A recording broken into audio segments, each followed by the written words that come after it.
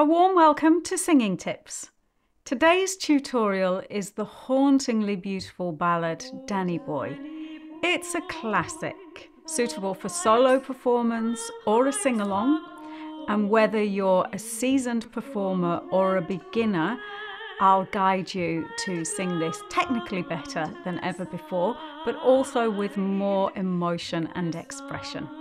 So grab yourself a cup of tea, or better still, an Irish coffee if you're over 18, and let's get into it.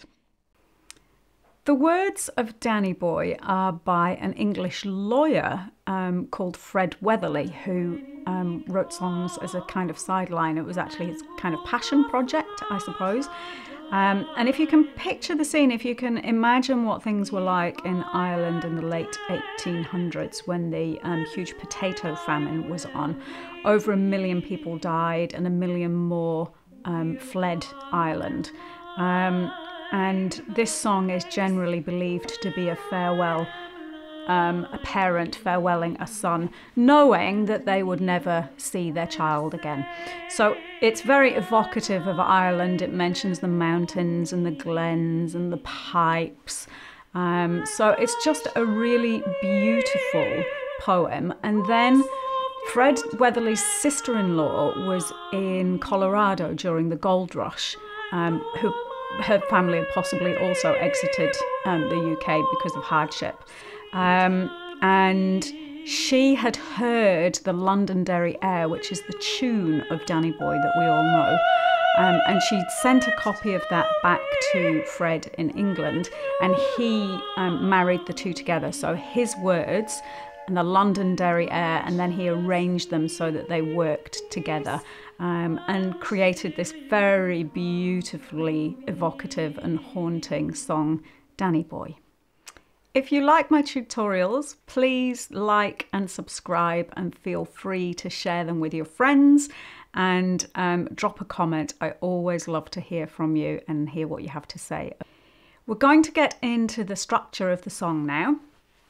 So it consists of two verses which sort of have a verse and chorus kind of thing. Um, so so the two um, sections um, are split into two subsections. It becomes clear when you hear the tune. It's it's not complicated, um, and the key.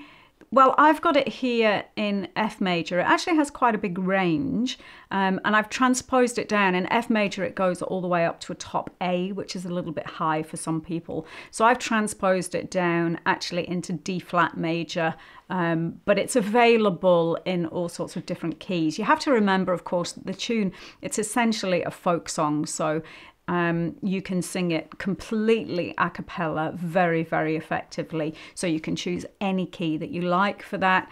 Um, but the Weatherly arrangement is available as a PDF in multiple different keys. So a bit of trial and error, you'll find the key that works for you. Um, speed wise, again, it says andante in the copy that I've got, which means at walking pace, so it's not hurried. Um, I think it needs a lot of rubato, which um, it means to rob, and basically rubato is all about playing with the rhythm so that it follows natural speech patterns and follows what the music feels like it wants to do. So it's not rigid in structure. Um, rubato means that you can just steal a little bit of that value of that note and add it to this note so you get a much more flexible um, sense of rhythm within the song. That, of course, lends itself really well to a cappella singing. So remember, you have to warm up, even though this is only a folk song, it actually has a huge range um, and it would be really um, not prudent to attempt this without having warmed your voice up fully first. Um, so lots of humming, sirens, all the usual things that you do to get your voice going. And then because there's um, an interval of a sixth which comes, and it's a very significant moment in the song, there's an exercise that I have that um, I do which goes.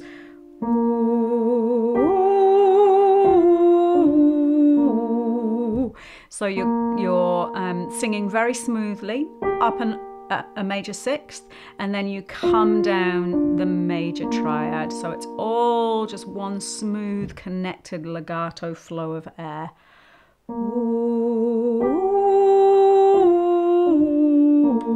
And then I just go up in semitones.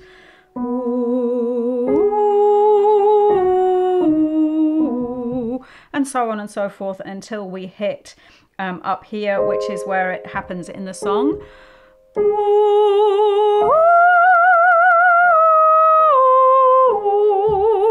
I might go a semitone higher just to make sure that I have warmed everything up beyond the point of the highest note.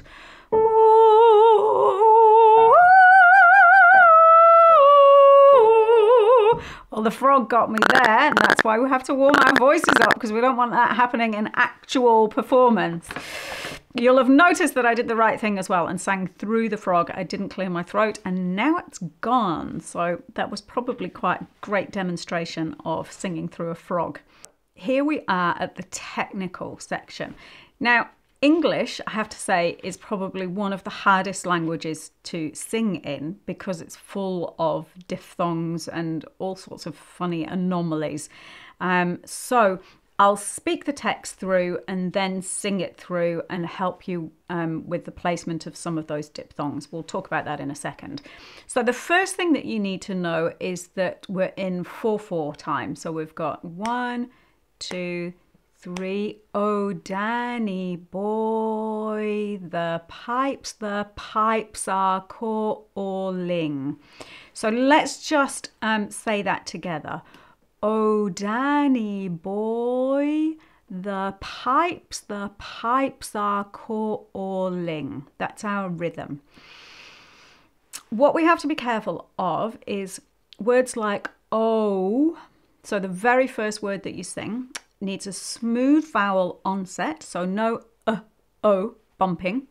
And also because it's made up of two sounds, o make up the word o, um, we need to put the second of those sounds on late. So we have o, so the w sound of o needs to be attached to the next word, which is Danny.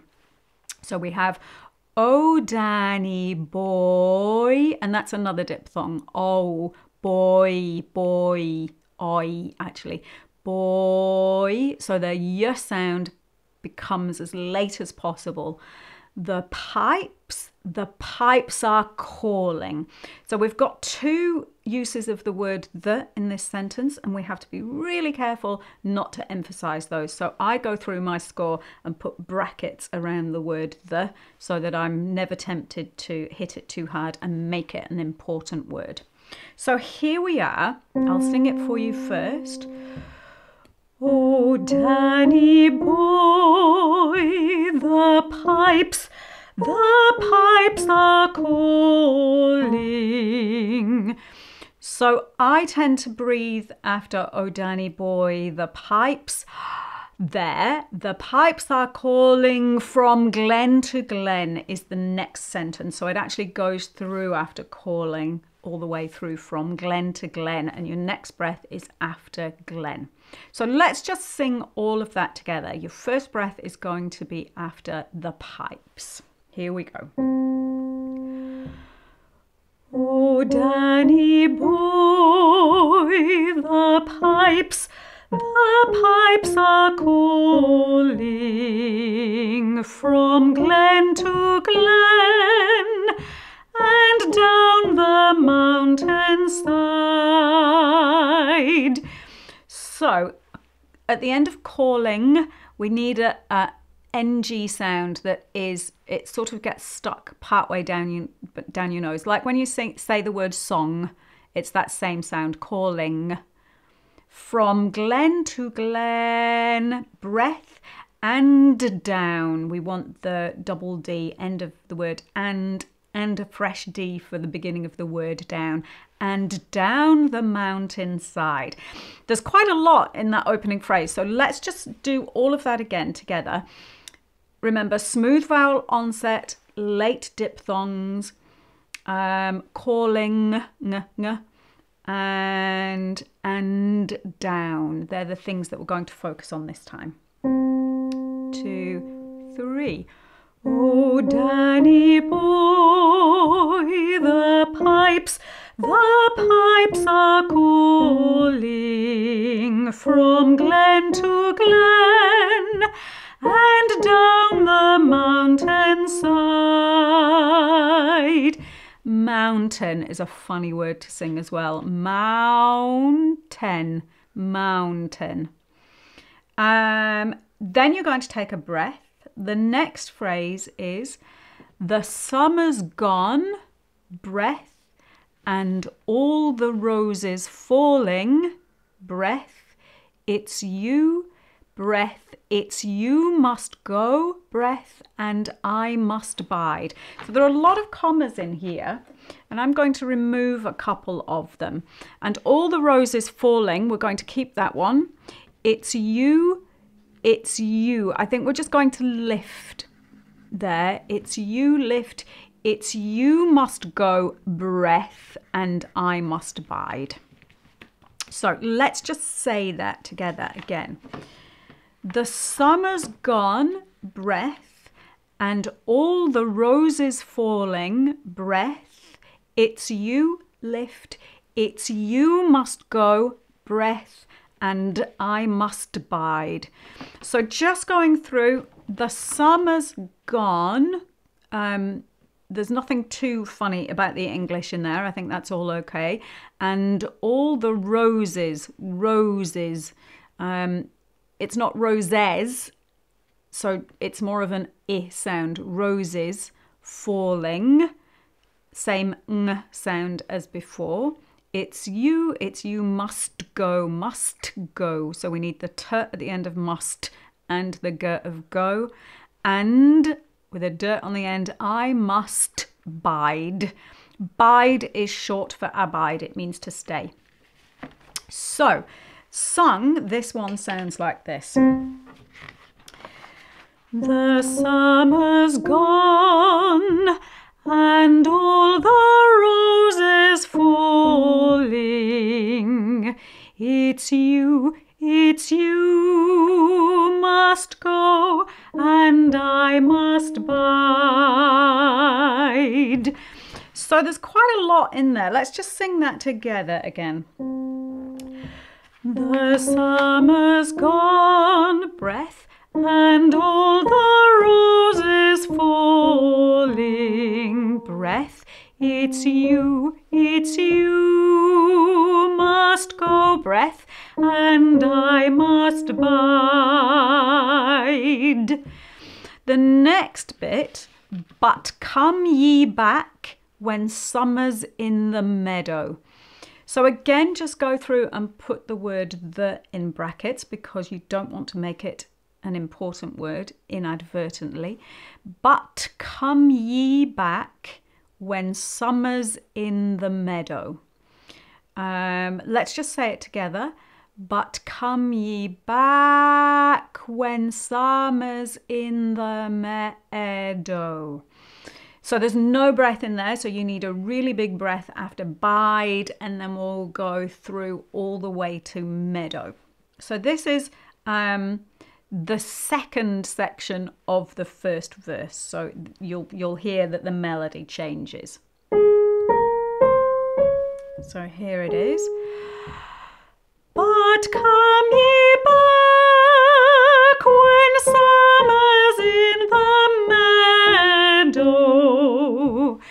So, but come ye back when summer's in the meadow. I think su of summer and me of meadow are our important words there. I'm just marking them myself so that I remember to do it when we have the sing along in a minute. Um, also, we haven't talked about dynamics. So the dynamics generally, to start with in the song, are quite quiet, so we're going to be MP. But here we have a crescendo, but we're not going to go too loud because that really happens more in the second verse. So we might go up to forte at the loudest point in this verse. Um, and then be looking at maybe fortissimo in the second verse. So we're going to start quietly, maybe MP, but come ye back getting up to mezzo forte and then when we do the next phrase we'll get up to forte. So here we go. One, two, three. But come ye back when summer's in the meadow. Breath. Or when the valley's hushed and white with snow.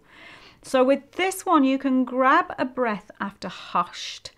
And we're going to employ a technique called word painting, which is when we make the note that we sing sound like the word um, that we're singing. So I would be doing, oh, when the valley's hushed. So it almost isn't pitched, it's just a, almost spoken hushed. Breath and white with snow. So I don't know whether you've um, experienced, I don't know which country you're in, whether you've um, experienced a heavy snowfall and the effect that that has on dampening sound. So that's what this is about when the valley's hushed and white with snow. Just everything goes really, really quiet when there's been a heavy snowfall. Let's sing it together.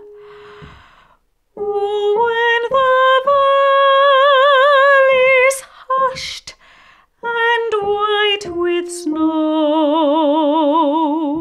Snow. It's a long note. It's a diphthong, which means that the R sound is the one that lasts the longest and the OO comes on at the very end. If you sing a long note and bring your second part of the diphthong in too early, you get a really muddy vowel that just doesn't resonate and doesn't sound nice. So we don't want snow and getting stuck on that second sound. We want snow. So the worst sound goes right at the very end. Then you need a big breath. The next bit of text, it's I'll be here in sunshine, breath, or in shadow. So it's I'll be here is a little idiomatic um, Irish um, idiomatic way of speaking. It's an Irish inflection. Um, it's I'll be here means um, this is what's going to happen. So it's just a way of saying this is what's going to happen. It's I'll be here in sunshine or in shadow. Oh, Danny boy, oh, Danny boy, I love you so. So here we go. The tune here is where we have that six that we just practiced in the warm ups. It's I'll be here in sunshine, breath, or in shadow. So with here, the Londonderry Air and Fred Weatherly haven't been particularly helpful in that they have given you an E vowel to sing on the highest note. So it's the tightest vowel that we have, E, so we have to modify it and sing more of an R sound.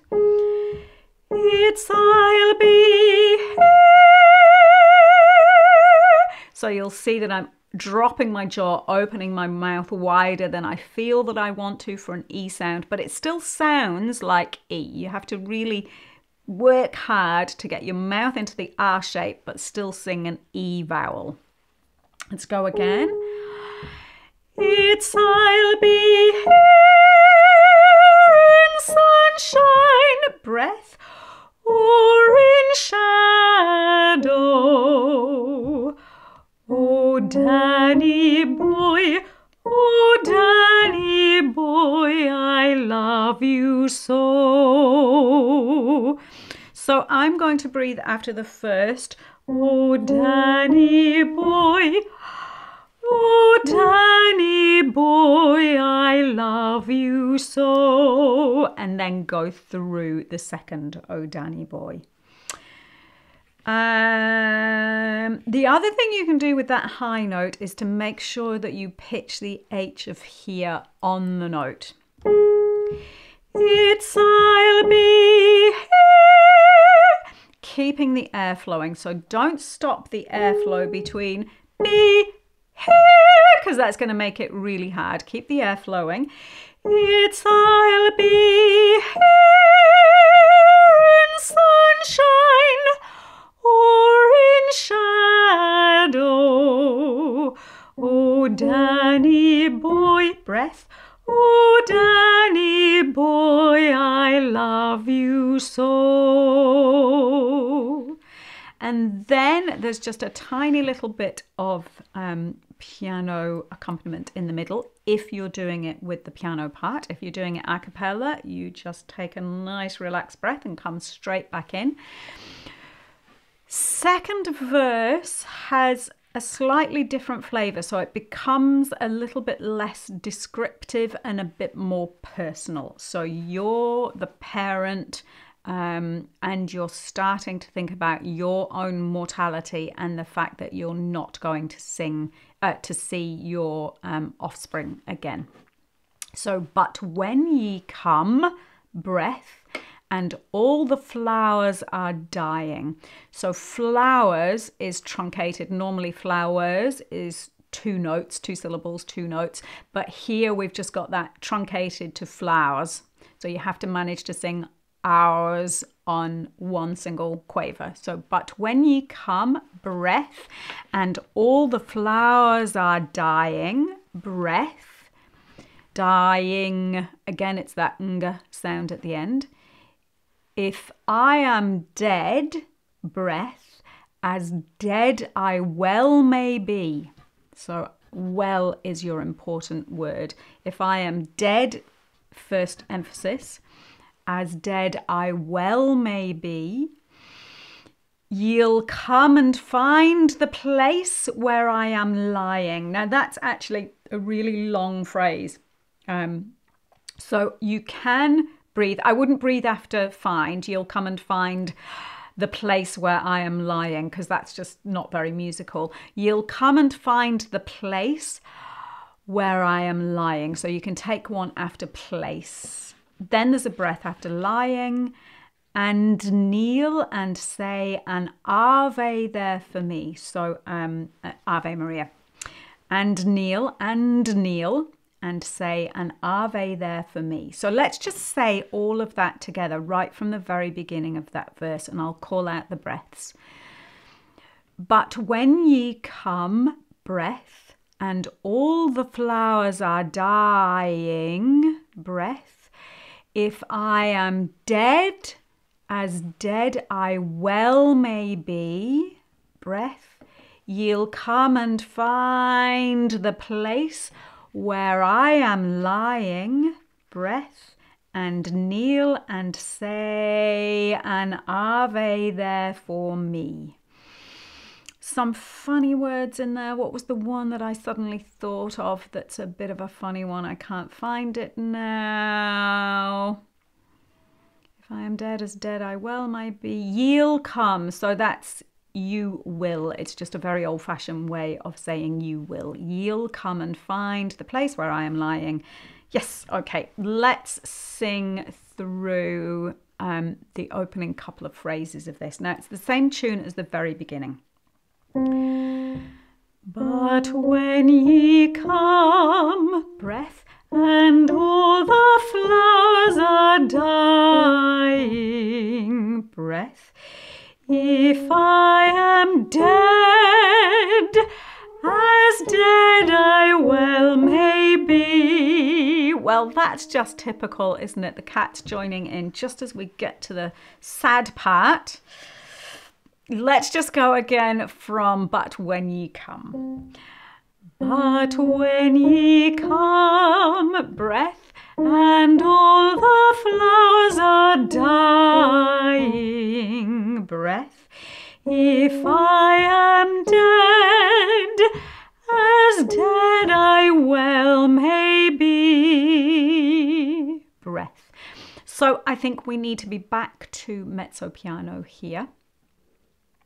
Um, and it's all quite, um, I think it's quite inward looking. It's it's much more personal at this at this point. Um, so I don't think you're singing it to the back of the concert hall by any stretch of the uh, the imagination. I think it's much more introspective. Um, if I go from you'll come and find the place where I am lying, this bit sounds like this. Ye'll come and find the place, breath, where I am lying, breath, and kneel and say an Ave there for me. Um, I'm just looking to see if there's an alternate breath for that phrase. And kneel. And you could take one after kneel if you didn't think you were going to get through it. I would just put that in brackets just and practice both ways. It's quite a long phrase. And kneel and say an Ave there for me. Next bit of text, and I shall hear, though soft you tread above me. And I shall hear is probably mezzo forte. And then though soft is like we did before with hushed, when you sing the note and the word um, to reflect the meaning of the word. Though soft you tread above me. So you would sing, and I shall hear breath, though soft you tread above me, breath, and all my grave will warmer, sweeter be. So I would take the next breath, and all my grave will warmer, breath, because there's a comma, sweeter be. So if I sing that now for you, and I shall hear breath, though soft you tread above me. Um, here, here. Again, it's dropping your jaw and finding the R space, but singing an E sound.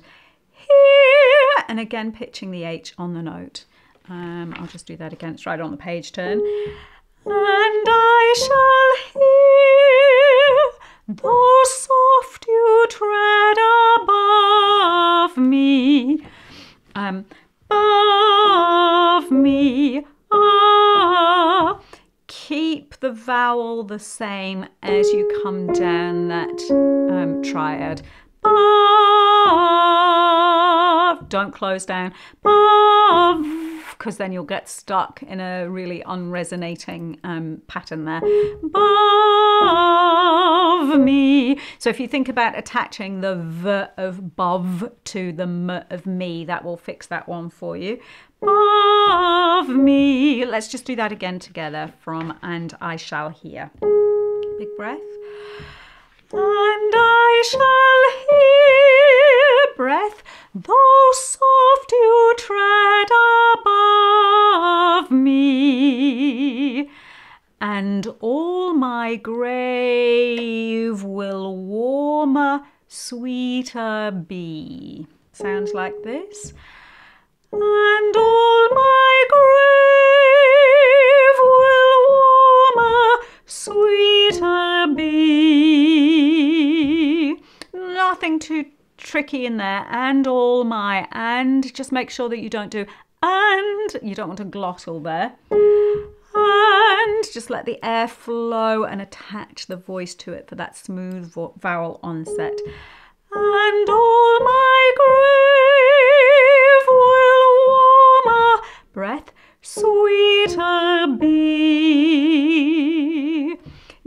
you need a big breath here because the phrase is, For you will bend and tell me, breath, that you love me.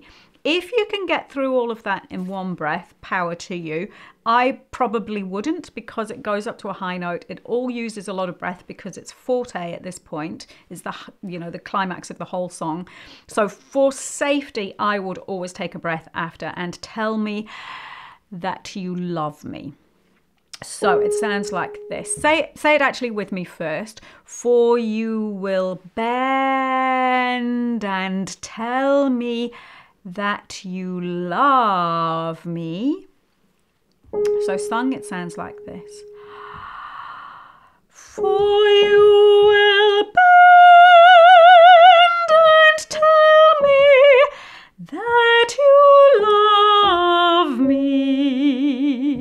And again, love me is exactly the same as above me, and two systems further up the um, sheet.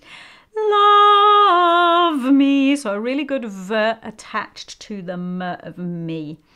Um, bend, pitch the B on the upper note. Bend open your mouth wide, find the R space, and you'll be absolutely fine. The note will just pop out for you. Um, and I think that's the only, yeah, that's the only really tricky thing there. For you will bend. Let's sing that together. For you will bend and tell me, breath, that you love me.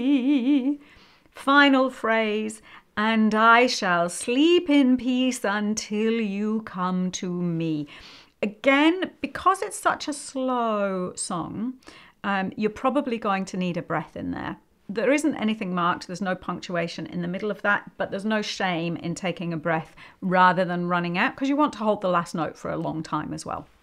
So I would take a breath and I shall sleep in peace until you come to me.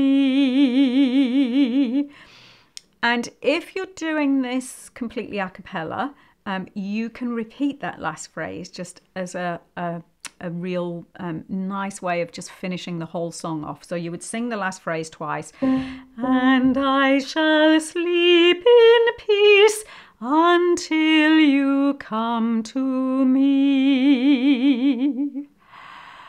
And I shall sleep in peace until you come to me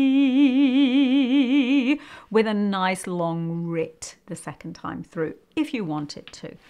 So that's our technical breakdown of the whole song. Um, I think the only other thing I want to say is what you could do with this one, because it has to be really legato. I mean, it's such um, such a a smooth, connected feel to the whole song. Um, what you could do is you could practice it just to the vowel sounds, so taking out all of the consonants. So it would go something like this. Oh, I, I, I,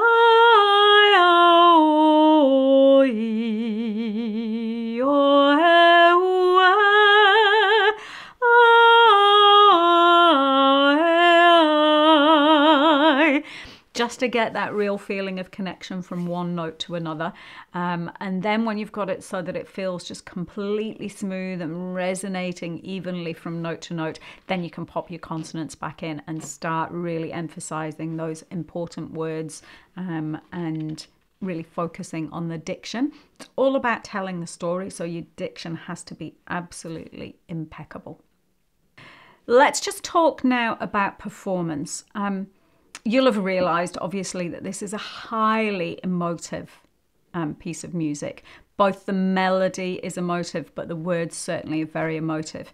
And in order to carry that off, to pull it off, you, you need to be thinking about your audience and moving them, taking them on the journey with you. So you really have to think about some something, you know, saying goodbye to somebody that you love and what that would feel like if you knew that you were never ever going to see them again.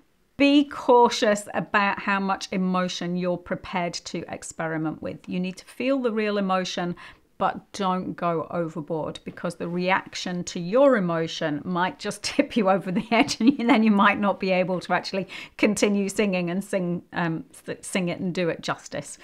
Um, so yeah, just make it genuine um, and enjoy it. I mean, the story is really, really lovely, and it's all about um, comfort. Um, and I think that's that's the thing that you probably need to focus on. It's that feeling of comfort that you're secure in the knowledge um, that this person loves you back, um, and that you're going to see them again on the other side. So let's put it all into practice now with the sing along. Oh, Danny boy, the pipes, the pipes are calling from glen to glen and down the mountain side. The summer's gone and all the roses falling. It's you, it's you must go, and I must bide. But come ye back when summer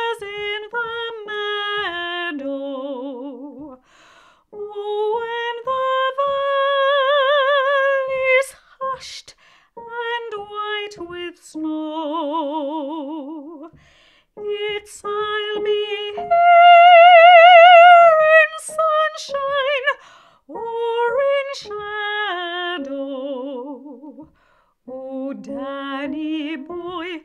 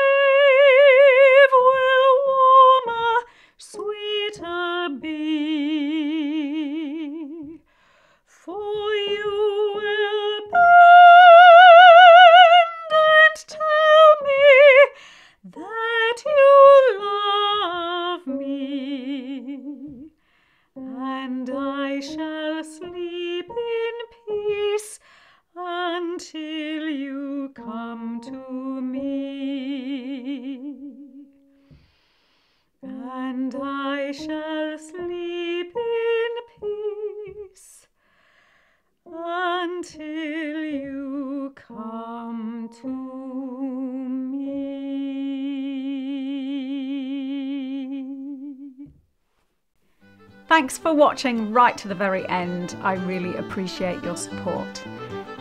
If you would like to consider joining, you can become a member and you could send me your um, rendition for my appraisal, is one of the perks that are available there. Or you can contact me directly through my website, singinglessons.online.